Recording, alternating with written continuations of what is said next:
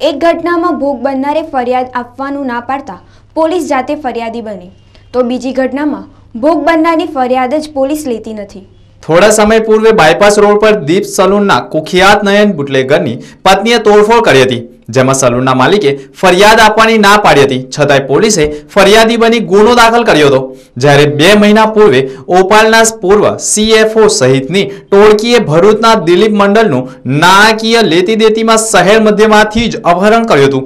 જેમાં દિલીપ મંડળની પત્નીએ લેખિતમાં ફરિયાદ કરી હોવા છતાં પોલીસ ફરિયાદ નોંધતી નથી. અહીં ભરૂચ પોલીસની આપ ખુદીશાહી ગણો તો આપ ખુદીશાહી અને બેધારી નીતિ ગણો તો બેધારી.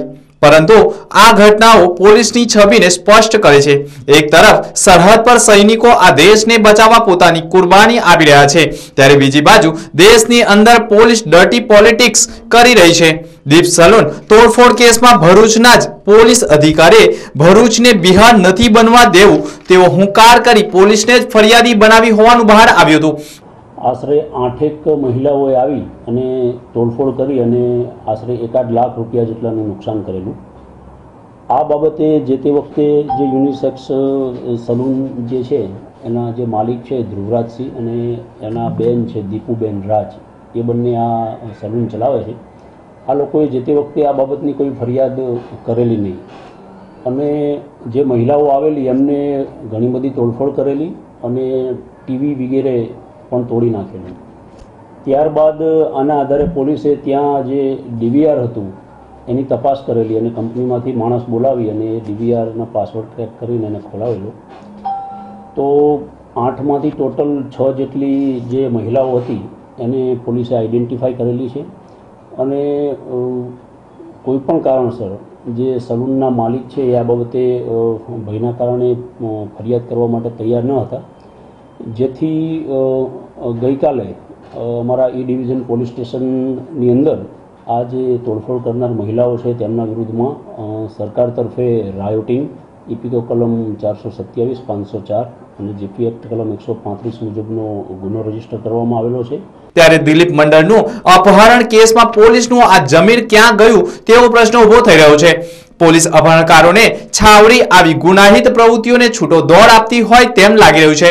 પોલીસને આવી ઉદાસીનતા અથવા ગુનેગારોને છાવરવાની વૃત્તિ ભરૂચમાં ગુનેગારોને જ પ્રોત્સાહન આપશે. સરવાળે ભરૂચમાં ગુનેગારોનું પ્રમાણ વધશે તેમાં કોઈ શંકાને સ્થાન નથી.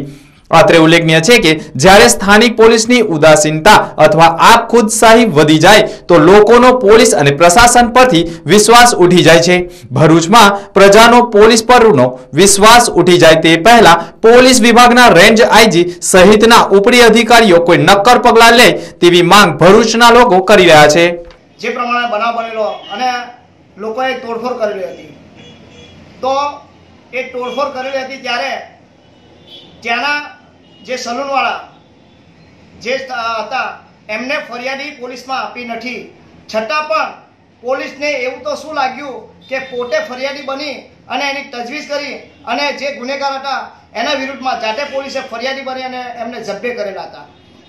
ચાલો સારું કહેવાય, પોલીસ જાગૃત છે. પણ હવે પછી હમણાં એક પરપ્રાંતિને ઉઠાવવાનો બનાવ બન્યો. એને કિડનેપ કરી ગયા. અને જ્યારે એનો જ સગા પોલીસમાં ફરિયાદ નોંધાવવા જાય છે કે ભાઈ, મારો આ સગો ને કોઈ ઉઠાવી ગયા છે અજ- અજાણ્યા ઈસમો. તો એના દ્વારા જે ફરિયાદ નોંધાવવા જાય છે ત્યારે પોલીસ ફરિયાદ લેતી નથી.